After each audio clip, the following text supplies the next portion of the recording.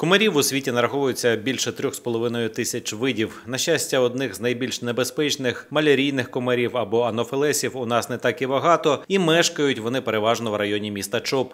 Проте для людей з алергією на комах неприємністю можуть стати і звичайні комари. Найбільш небезпечними є укуси комарів для тих, хто має інсектну алергію або алергію на укуси комах різних. Це може бути укуси комах, наприклад, і бджоли, і шершня, і в тому числі і комарів. Якщо ми говоримо про більш складні наслідки укусів, то ми повинні пам'ятати про інфікування або так звані інфіковані рани, інфіковані укуси комарів. Коли Крім того, що комар укусив, у тому місці виникають розчухи.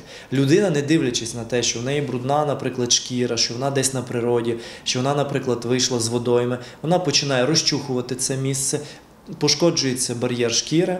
І таким чином ми втрачаємо контроль над тим, які інфекції можуть потрапити всередину. Зокрема, це є стафілококові ураження дуже часто. Коли ми чешемо ці місця, ми пошкоджуємо поверхневий е, шар епідермісу, ми з його здираємо і таким чином робимо відкритими ворота інфекції. Як же захистити себе від цієї проблеми? На щастя, сьогодні у величезній кількості на полицях магазинів представлені різноманітні засоби боротьби з кровопийцями. Це і спреї, і електрофумігатори, і навіть захисні браслети. Проте далеко не всі бажають використовувати хімічні засоби, остерігаючись, що від них можна і самим постраждати. Ну, чесно, я хімією не користуюся.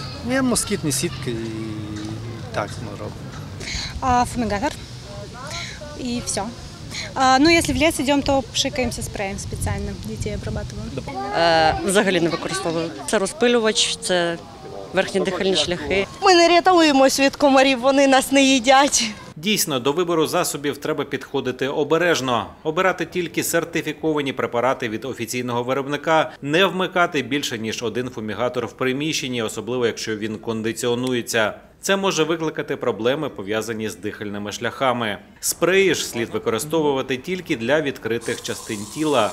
При укусі комара не слід панікувати, адже якщо ліків нема під рукою, зможуть допомогти і народні методи. В першу чергу це є невеличкий холодний компрес, який буде чергуватися по 10 хвилин холоду, 20-25 хвилин тепла, для того, щоб зняти набряк. Другий момент це використання засобів, таких як, наприклад, діюча речовина, яку ми можемо називати це є миновазин, який допомагає зменшити приток крові до місця, а також зменшити місцеву алергічну реакцію та зменшити зуд. Е, Дуже дієвими є також і народні деякі засоби, які можна знайти в інтернеті, як працювати. В першу чергу це засоби, які містять фітонциди. Ну, зокрема, це чесник, там цибуля і так далі.